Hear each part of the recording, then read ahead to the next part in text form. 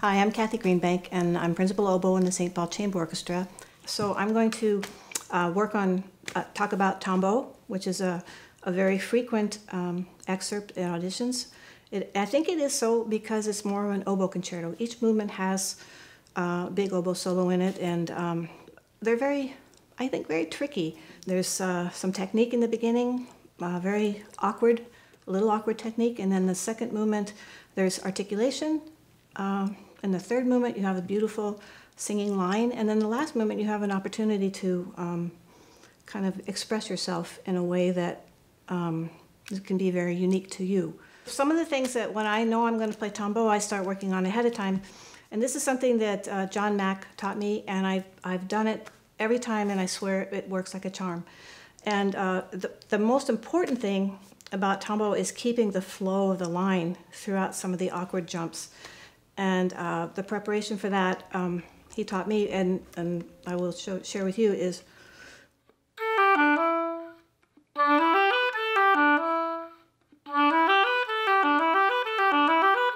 So you get that kind of consistent, round, uh, flowing, even motion over the leaps.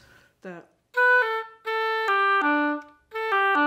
that one's not as hard as later that comes. That one's a little bit trickier. Um, but over that leap, you, you learn to connect and make the continuous sound of, of trying to get it as even as possible.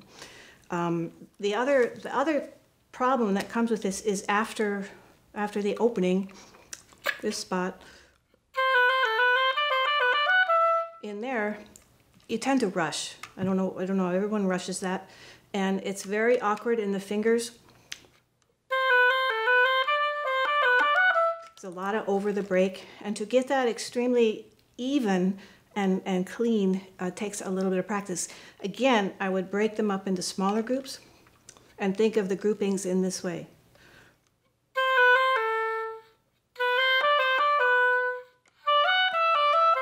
So you're always going over the grouping into the next section. Again, it's a grounding thing. You also want to think about the also keep you grounded as you as you go the scale progression up to the top. So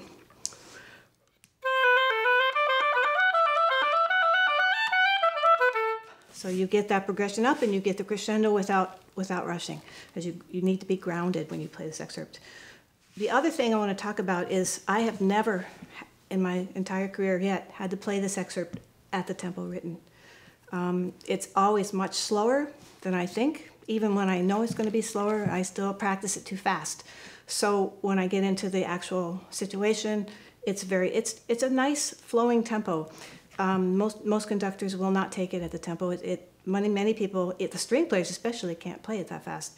So when you are preparing it for an audition, keep in mind that yes, it's a flashy. You can flash and show your technique, but it's also extremely musical. So what I try to do in any audition is show the musicality. Um, the technique will show itself, so you can make it convincing. Um, that's the most important part of your audition is to make it yours, and you have to convince the people that are listening that this is the right way to play it because it just makes sense. Um, the other thing I want to say is that when you're auditioning, you will be playing for not oboists only. You have violinists, you have clarinetists, you have so many people, and so many audition committees that I've been on. I think the person's fantastic, and the, other, and the person next to me thinks I've never heard anything worse in their life. So you have to take that into consideration too. You will not please everyone, so you just go with your strongest conviction and give them that. That's, that's all you can control. You can't control what they're going to think. So really give it your all, be convincing, and be you, because nobody, everybody out there is going to have a different opinion. So the next excerpt I'd like to do from Tombeau is the minuet. Um, this is a beautiful chance to show your expression and long line. It's a very simple song, and in my opinion, and, and the, simp- the, the more simple things are, the more complicated they get. So um, you try to make something sound beautiful yet simple um, is, is the key to this excerpt. It's the third movement. Um, I'm going to play it through. Um, I'll take the repeat, but okay, I'm going to play the third movement of tombeau.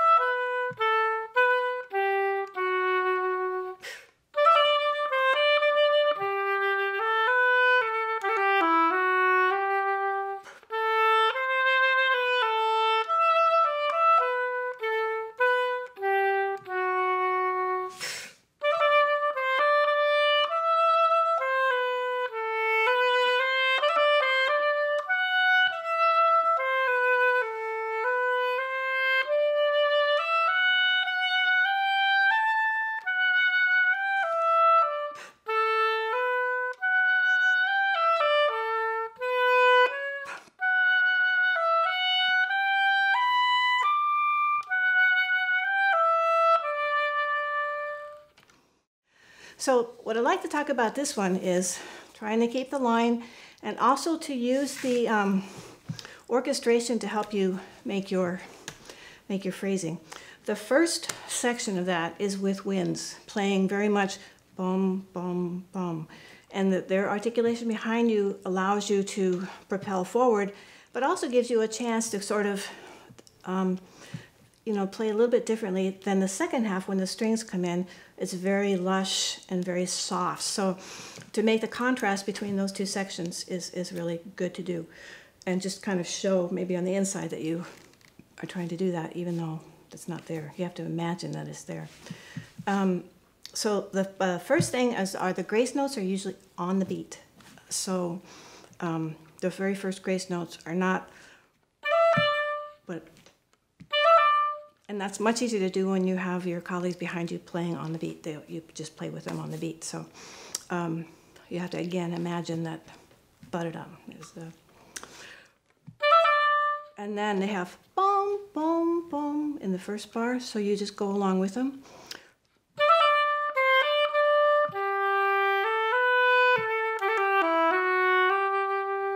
And that's the first phrase of that. Um, again, you can use the propulsion of the, the tonguing of your colleagues to give you that simple line forward.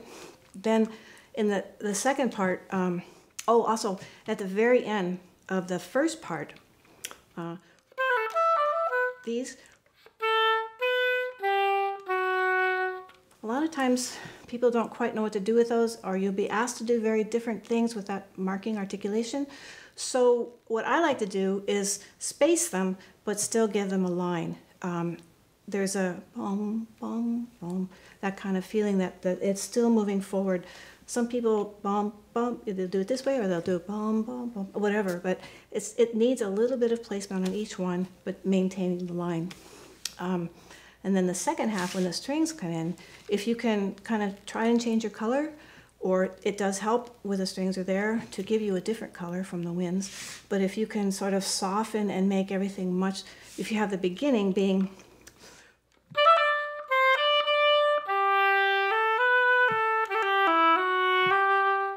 have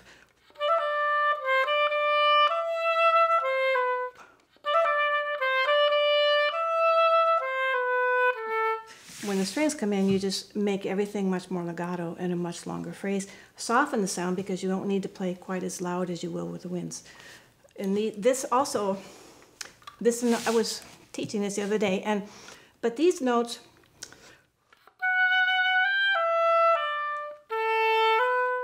what they do, they're two notes grouped together. Uh, there's what's an accent on the first one, and then and then away, and then but that that those particular two notes are just kind of isolated by themselves. They don't they're not pickups to the next bar.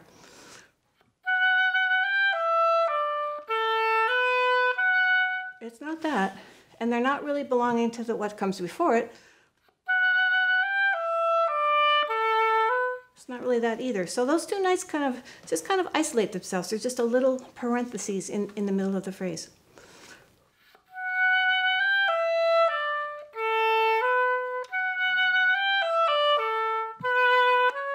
and then, then, the, then the tail end of that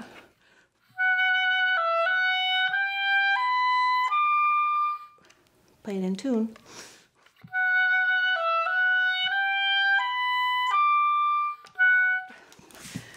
I think the best thing about that, some people take time at the high notes and some people don't. I think it just, if you make a beautiful diminuendo, the timing will take care of itself, and then the next measure is back in tempo.